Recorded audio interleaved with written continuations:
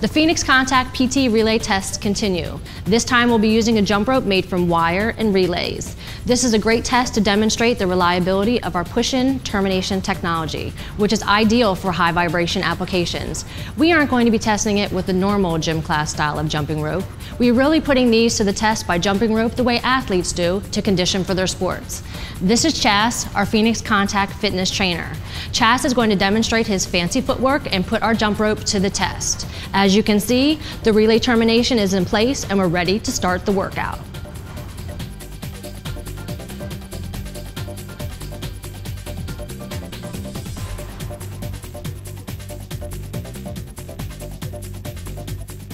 Thanks, Chas. That certainly gave our termination a great workout. So now let's see how it all held up.